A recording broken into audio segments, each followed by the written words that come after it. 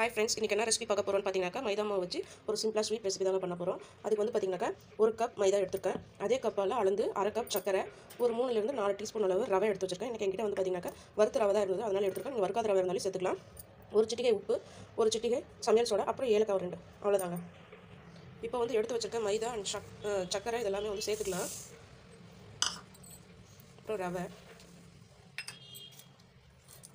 ஏலக்காய் சமையல் சோடா அப்புறம் உப்பு இது எல்லாமே வந்து தண்ணி விட்டு நல்லா கலந்து எடுத்துகிட்டு வந்துடலாங்க.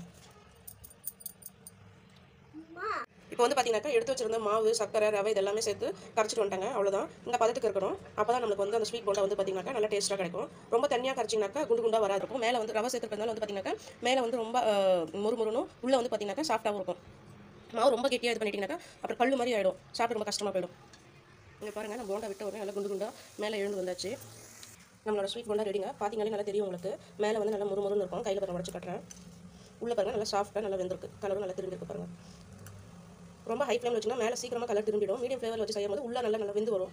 அதுக்காக தான் மீடியம் டு ஹை ஃப்ளேம் மாற்றி வைங்கன்னு சொல்கிறேன் என்னோட ஸ்வீட் போண்டா ரெடிங்க இது வந்து ஒரு பத்து நிமிஷம் இருந்தால் போதும். செஞ்சு எடுத்துடலாம். ஈவினிங் பசங்க ஸ்கூல் விட்டு வந்த உடனே பார்த்தீங்கன்னாக்கா இது ஒரு ஸ்நாக்ஸாக கொடுக்கலாங்க. ரவை சேர்த்துருக்கிறதுனால பார்த்தீங்கன்னா நல்லா முறு முறுன்னு இருக்குது மேலே உள்பக்கம் வந்து பார்த்தீங்கன்னாக்கா நல்லா சாஃப்டாக வெந்திருக்குங்க. என்னோடய சேனல் உங்களுக்கு பிடிச்சிருந்தா லைக் பண்ணுங்கள் கமெண்ட் பண்ணுங்கள் அண்ட் ஷேர் பண்ணுங்கள் வேறு ஒரு ரெசிபியோட நெக்ஸ்ட் வீடியோவில் பார்க்கலாம். பாய்